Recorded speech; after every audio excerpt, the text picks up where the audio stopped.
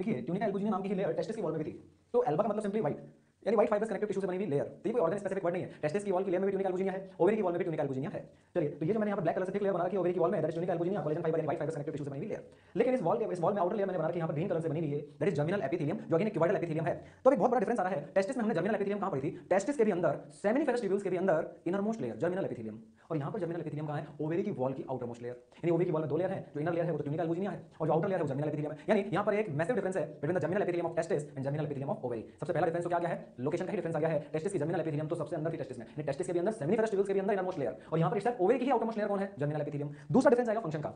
जो टेस्टिस की germinal epithelium थी, वो क्यूबाइडल सेल स्पर्मेटोगोनिया से कंपोज थी। और वो स्पर्मेटोगोनिया सेल्स प्यूबर्टी आने पर टेस्टोस्टेरोन से इंड्यूस होकर स्पर्मेटोजेनेसिस का प्रोडक्शन स्टार्ट करते हैं इस प्रोसेस को स्टार्ट करते हैं। तो इसका मतलब ये हुआ कि टेस्टिस की जो जर्मिनल एपिथेलियम है, वो स्पर्म प्रोड्यूस करती है। लेकिन यहाँ पर जो ये ओवरी की जर्मिनल एपिथेलियम है, अब क्योंकि नाम जर्मिनल है, इसका मतलब ये सेल्स डिवाइडिंग सेल्स तो हैं, तभी तो नाम क्या पड़ा इसका? जर्मिनल एपिथेलियम लेकिन ये जर्मिनल एपिथेलियल सेल्स यहाँ पर डिवाइड होकर ओवम का प्रोडक्शन नहीं करेंगी। तो पहला डिफरेंस जर्मिनल एपिथेलियम की लोकेशन में आया था, दूसरा डिफरेंस आ गया फ़ंक्शन में। टेस्टिस की जर्मिनल एपिथेलियम जो है, वो स्पर्म प्रोड्यूस करेगी, लेकिन ओवरी की जर्मिनल एपिथेलियम ओवम प्रोड्यूस नहीं करेगी। लेकिन है ये भी डिवाइडिंग एपिथेलियम क्योंकि नाम जर्मिनल एपिथेलियम है तो फिर ये सेल्स डिवाइड होकर कौन सी सेल्स बनाएँगी, वो अभी हम आगे जानेंगे। तो देखिए ओवरी की वॉल की दो लेयर इनर लेयर थिकेस्ट है, जो ट्यूनिक एल्बुजिनिया है कोलेजन फाइबर से बनी हुई है आउटर लेयर सिंगल सेल की लेयर है क्यूबाइडल एपिथेलियम जिसको हमने नाम दिया जर्मिनल एपिथेलियम जर्मिनल है डिवाइड होगी, लेकिन ओवम नहीं बनाएगी, दूसरी सेल्स बनाएगी, कौन सी सेल्स बनाएगी, वो भी जानते हैं। चलिए, अब ओवरी के अंदर के टिश्यू की बात करते हैं इंटीरियर टिश्यू ऑफ़ ओवरी देखिए, जो इंटीरियर टिश्यू ऑफ़ ओवरी है, इसको बोला जाता है स्ट्रोमा और स्ट्रोमा के दो पार्ट होते हैं। अब देखिए, जो सेंटर में आपको पार्ट नज़र आ रहा है, ये जो मैंने रेड कलर से यहाँ बनाया है, यह कोर ऑफ़ ओवरी बिल्कुल central part of the ovary जो बना होता है फाइब्रस टिश्यू से, जो ओवरी का कोर बनाता है। और जो स्ट्रोमा का ये पेरिफेरल पार्ट है, ये पेरिफेरल पार्ट इसको बोलते हैं कॉर्टेक्स तो इसका मतलब ओवेरियन स्ट्रोमा ओवेरियन स्ट्रोमा मतलब ओवरी का इंटीरियर टिश्यू जो दो पार्ट्स में डिवाइडेड है सेंट्रल कोर पार्ट तो ओवेरियन मेडुला और उसके बाहर जो स्ट्रोमा का ये पेरिफेरल पार्ट है, ये है ओवेरियन कॉर्टेक्स चलिए अब आप देखेंगे इस ओवेरियन कॉर्टेक्स में क्या है।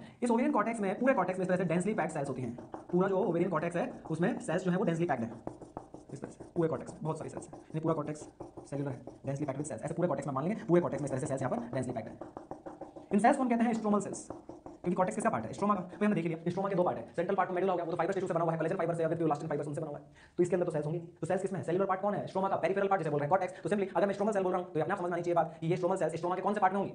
में। तो ये पूरा कॉर्टेक्स है। इन सेल्स डेंसली पैक्ड रहता है और इन सेल्स को क्या नाम देते हैं? स्ट्रोमल सेल्स अब ये स्ट्रोमल सेल्स हमेशा ओवरी के में इस तरह से रहेंगी पैक्ड रहेंगी। इन स्ट्रोमल सेल्स को प्रोड्यूस कौन करता है? तो आप समझ गए ये जो जर्मिनल एपिथेलियम है जर्मिनल एपिथेलियम की सेल्स लगातार डिवाइड होकर अंदर स्ट्रोमा में माइग्रेट होती रहती है में माइग्रेट होती रहती है और यही सेल्स क्या कहलाती हैं? स्ट्रोमल सेल्स तो what is the function of ovarian germinal epithelium that is production of stromal cells of the ovarian cortex ये डिफरेंस आ चुका है यहाँ पर germinal epithelium of testis and ovary में। पहला तो लोकेशन में डिफरेंस आया, दूसरा फ़ंक्शन में डिफरेंस आया। टेस्टिस की जर्मिनल एपिथेलियम स्पर्म प्रोड्यूस करेगी, लेकिन ओवरी की जर्मिनल एपिथेलियम ओवम प्रोड्यूस नहीं करेगी। तो क्या प्रोड्यूस करेगी? वो प्रोड्यूस करेगी ओवेरियन कॉर्टेक्स की स्ट्रोमल सेल्स तो लगातार ये जर्मिनल एपिथेलियम की सेल्स डिवाइड होती रहती हैं, अंदर माइग्रेट होती रहती हैं कॉर्टेक्स में पैक रहती हैं। तो फ़िलहाल ये ओवरी की स्ट्रक्चर अब आप ध्यान से सुनिए इस बात को। क्या आपको इस ओवरी के अंदर अभी तक कोई ओवम बनाने वाली सेल नज़र आई? नहीं। ओवम बनाने वाली सेल्स होती हैं, जैसे मेल में स्पर्म बनाने वाली सेल्स कौन सी थी? स्पर्मेटोगोनिया उसी तरह से फीमेल में ओवम बनाने वाली सेल्स होती हैं ओगोनिया मेल में जो स्पर्मेटोगोनिया थी, वो स्पर्मेटोगोनिया सेल्स जर्मिनल एपिथेलियम की फॉर्म में सेमिनिफेरस ट्यूब्यूल्स को लाइन कर रही थी। लेकिन यहाँ पर जो ओगोनिया होंगी, वो ओगोनिया कहाँ रखी हुई हैं? ये ओगोनिया रखी हुई हैं कॉर्टेक्स में।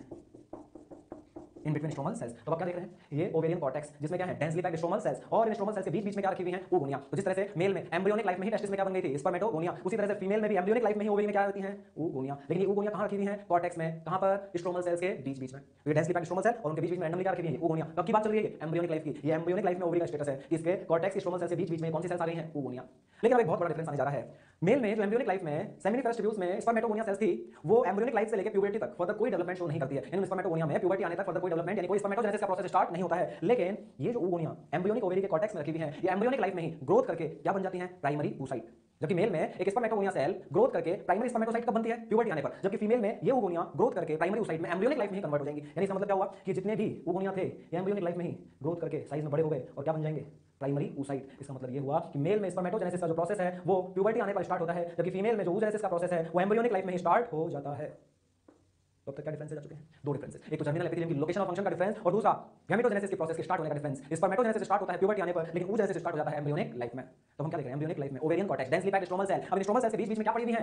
ओगोनिया या प्राइमरी oocyte? नहीं, अब हम बोलेंगे प्राइमरी oocyte, क्योंकि सारे ओगोनिया ग्रोथ करके क्या बन चुके हैं? Primary oocyte. और ये प्राइमरी oocyte, अब आपको इस ओवेरियन कॉर्टेक्स में अलग से ही नज़र आना स्टार्ट हो जाएँगे, क्योंकि अब इनका साइज़ क्या हो चुका है? बड़ा. तो आपको ओवेरियन कॉर्टेक्स में छोटी छोटी बहुत सारी सेल्स नज़र आएँगी ना, वो तो होंगी स्ट्रोमल सेल्स और उनके बीच बीच में जो थोड़ी बहुत बड़ी बड़ी सेल्स पड़ी हुई है ये है प्राइमरी oocytes. तो ध्यान से सुने कि यहाँ एम्ब्रियोनिक लाइफ में ये ओगोनिया जो पहले बनी थी, ये 7 मिलियन थी टोटल नंबर में दोनों ओवरीज में मिलाकर। अगर मैं दोनों ओवरीज का टोटल करूँ, दो ओवरीज हैं, दोनों ओवरीज में टोटल मिलाकर एम्ब्रियोनिक लाइफ में कितनी ओगोनिया बनी थी? 7 मिलियन ये सारी की सारी ओगोनिया ग्रोथ करके किसमें कन्वर्ट हो गई? प्राइमरी oocyte में। इसका मतलब एम्ब्रियोनिक लाइफ में दोनों ओवरीज में मिलाकर टोटल कितने प्राइमरी oocyte बने? सेवन मिलियन चलिए तो ये 7 मिलियन क्या बन चुके हैं यहाँ पर? प्राइमरी oocytes तो ये कोई फिक्स नंबर नहीं है। अलग अलग जो बुक्स हैं अलग अलग जो रेफरेंस बुक्स होती हैं, उनके अंदर ये नंबर अलग अलग क्योंकि फिक्स तो आज तक किसी ने गिनी नहीं होगी। तो आप इनको 7 मिलियन ना बोलकर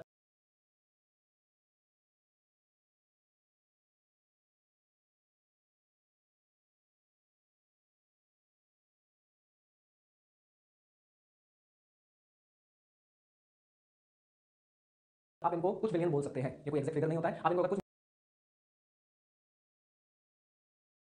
मिलियन बोलोगे तो भी ठीक है। आपकी एनसीआर लिखी है कपल ऑफ़ मिलियन तो ठीक है। उसने कुछ मिलियन उसने कुछ फिक्स डेटा नहीं दिया तो मान सकते हैं कि हाँ कुछ million cells primary oocyte cells हमको एम्ब्रियोनिक लाइफ में देखने को मिलेंगी कहाँ पर? ओवेरियन कॉर्टेक्स में इन बिटवीन स्ट्रोमल सेल्स अब एक बात और आती है कि जो मेल है, उसमें स्पर्मेटोगोनिया सेल्स जो है, वो लाइफ टाइम कभी भी खत्म नहीं होती। क्योंकि जैसे मैंने आपको स्पर्मेटोगोनिया सेल्स के लिए बताया था कि जो जर्मिनल एपिथेलियम की स्पर्मेटोगोनिया सेल्स है, वो स्पर्मेटोगोनिया टाइप ए क्या थी स्पर्मेटोगोनिया टाइप ए फिर जब टेस्टोस्टेरोन से वो इंड्यूस होकर माइटोसिस डिफरेंशिएशन शो करती है, तब बनता है स्पर्मेटोगोनिया टाइप बी और फिर उससे आगे स्पर्म बनने की प्रोसेस स्टार्ट होती है। लेकिन साथ ही साथ जो स्पर्मेटोगोनिया टाइप ए है, वो लगातार नॉर्मल माइटोसिस भी करती रहती है विदाउट एनी डिफरेंशिएशन यानी स्पर्मेटोगोनिया टाइप ए लगातार स्पर्मेटोगोनिया टाइप ए बनाती रहती है। इसका मतलब ये हुआ कि spermatogonia type A cells of germinal epithelium of testis कभी भी खत्म नहीं होंगी लाइफ टाइम अवेलेबल रहेंगी, यानी अनलिमिटेड अवेलेबिलिटी लेकिन यहाँ क्या हुआ? यहाँ एम्ब्रियोनिक लाइफ में ही जितने भी ओगोनिया थे, वो सारे के सारे ग्रोथ करके कन्वर्ट हो गए किसमें? प्राइमरी ऊसाइट में।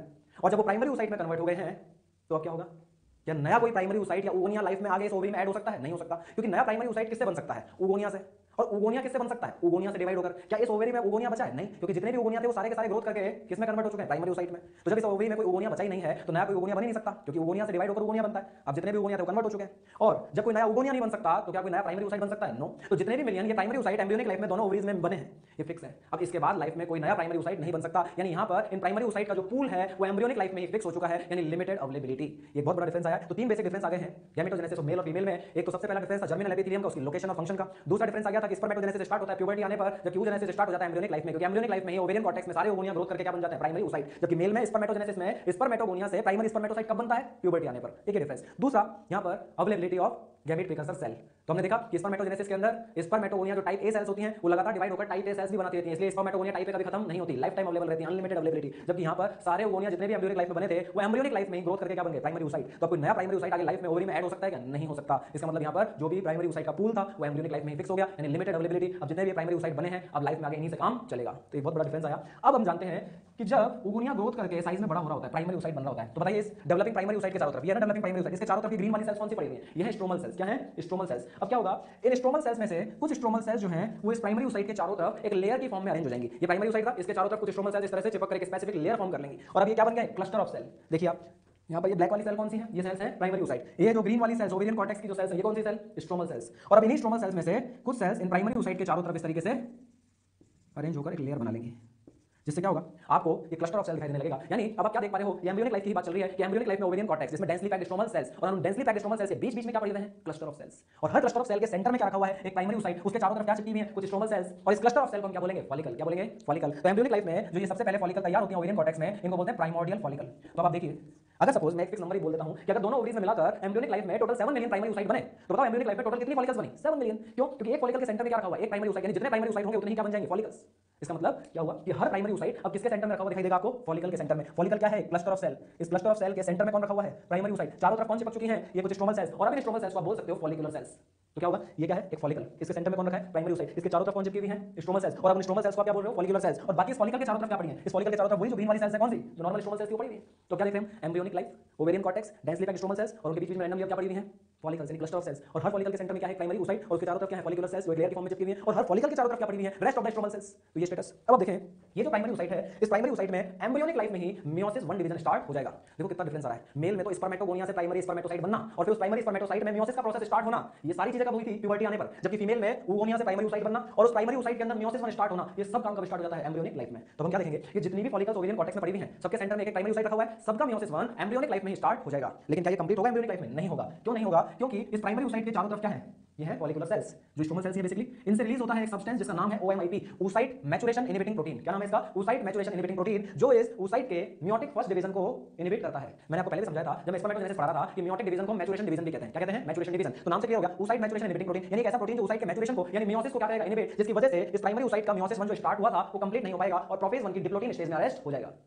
तो इसका मतलब क्या हुआ एम्ब्रियोनिक लाइफ की बात चल रही है। एम्ब्रियोनिक लाइफ में ओवेरियन कॉर्टेक्स है। इसमें बहुत सारी मिलियंस क्या पड़ी हुई हैं। फॉलिकल्स हर फॉलिकल के सेंटर में क्या है? प्राइमरी ओसाइट और एम्ब्रियोनिक लाइफ में ही इन सभी प्राइमरी ओसाइट्स का मियोटिक फ़र्स्ट डिवीज़न स्टार्ट हो चुका है। लेकिन अरेस्ट हो चुका है प्रोफेज 1 के डिप्लोटिन स्टेज में। और उसके लिए रिस्पांसिबल रीजन कौन है? ओएमआईपी एक सब्सटेंस जो सीक्रेट हो रहा है, उस ओसाइट के चारों तरफ़ रखे हुए फॉलिकुलर सेल्स से। तो फ़िलहाल ये प्राइमरी ओसाइट रहेगा। सेकेंडरी ओसाइट नहीं कहलाएगा सेकेंडरी ओसाइट कब कहलाएगा जब इसका मियोटिक 1 डिवीज़न कंप्लीट हो जाएगा। क्या ये कंप्लीट हुआ? नहीं हुआ। ये कहाँ अरेस्ट हो गया? प्रोफेज 1 के डिप्लोटिन स्टेज में। तो अब ये एम्ब्रियोनिक ओवेरियन कॉर्टेक्स का स्टेटस है। अब क्या होगा? प्यूबर्टी तक। यानी इस एम्ब्रियोनिक लाइफ से लेके प्यूबर्टी आने तक इन फॉलिकल्स में और उसके सेंटर में रखे हुए प्राइमरी ओसाइट में कोई फर्दर डेवलपमेंट नहीं होगा। अब जो भी डेवलपमेंट फॉलिकल्स में होगा और उसके अंदर रखे हुए प्राइमरी ओसाइट में जो चेंजेस आएँगे वो सब कब आएँगे? प्यूबर्टी आने पर। जो मियोसिस वन का कंप्लीशन होगा, कब होगा? प्यूबर्टी आने पर। यानी फाइनली फीमेल में भी गैमीट कब बनेगा? प्यूबर्टी आने पर। भले स्टार्ट कब होगी यूजेनेसिस की प्रोसेस एम्ब्रियोनिक लाइफ में, लेकिन कंप्लीट तो ये कब जाकर होगी? प्यूबर्टी आने पर। तो एक बात ये तो है कि मेल के अंदर प्यूबर्टी आने पर स्पर्मेटोजेनेसिस स्टार्ट होता है तभी गैमीट बनते हैं। गैमीट तो फीमेल में भी प्यूबर्टी आने पर बनेंगे, बस फ़र्क इतना है कि इसका जो यूजेनेसिस का प्रोसेस था एम्ब्रियोनिक लाइफ में स्टार्ट हो गया था। बस एम्ब्रियोनिक लाइफ में स्टार्ट हो गया अरेस्ट हो गया था कहाँ? प्रोफेज वन के डिप्लोटिन स्टेज में, और प्यूबर्टी तक अरेस्ट रहेगा कंप्लीट कब जाकर होगा? प्यूबर्टी आने पर। गैमीट कब बनेंगे यहाँ पर भी? प्यूबर्टी आने पर। तो अब हम इसी बेसिस को पढ़ते हुए आगे सीखेंगे यूजेनेसिस का प्रोसेस जो अब कब आगे फर्दर कंटिन्यू होगा? प्यूबर्टी आने पर।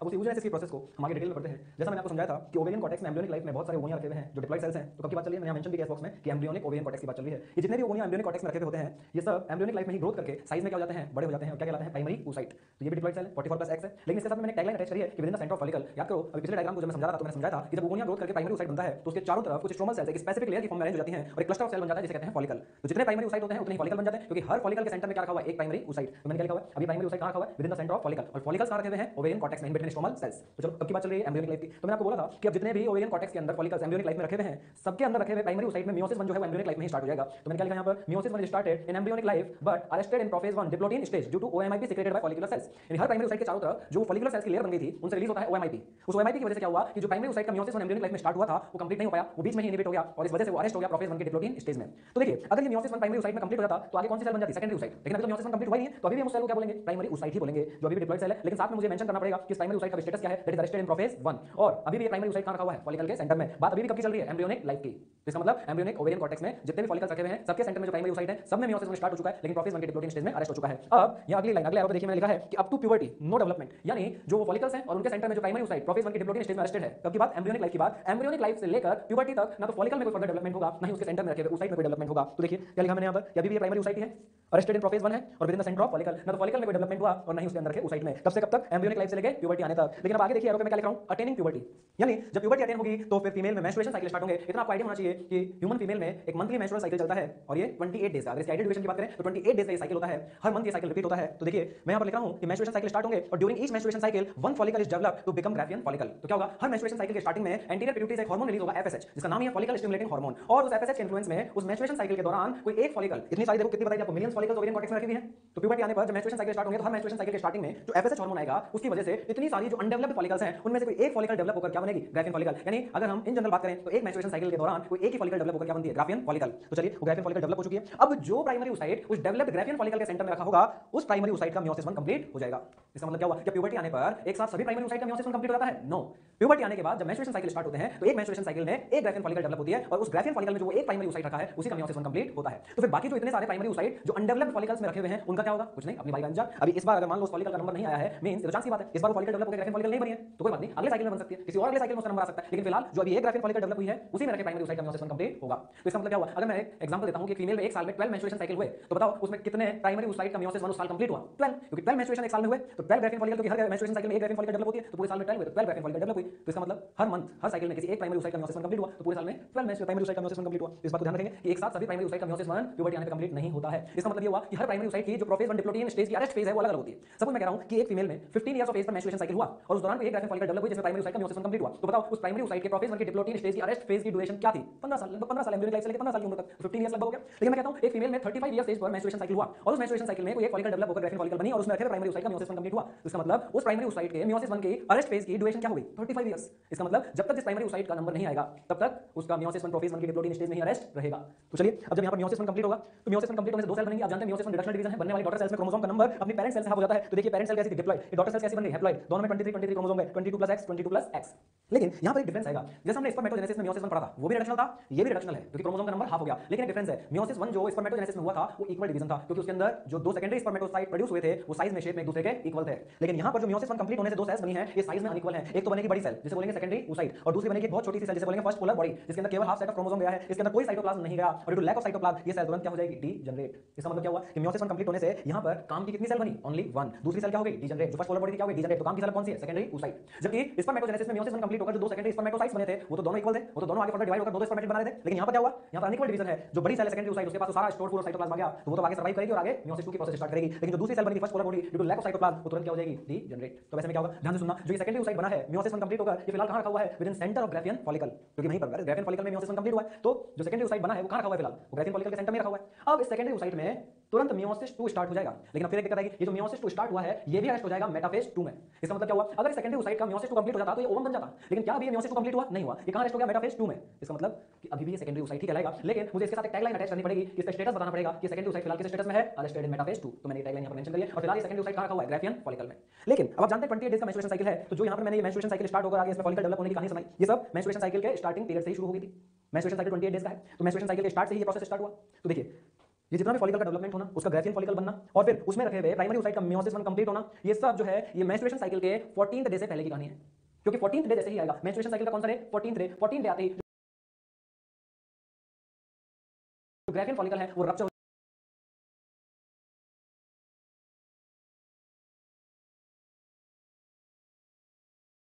जाएगी। क्योंकि 14th डे के अराउंड एक हार्मोन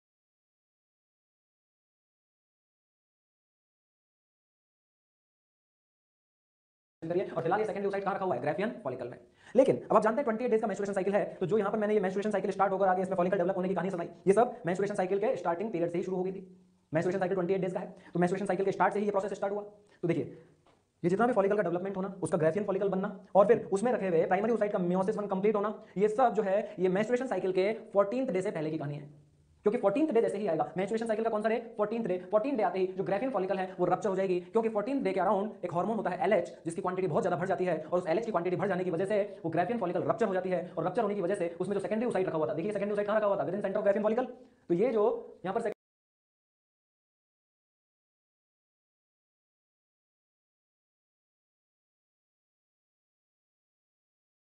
secondary oocyte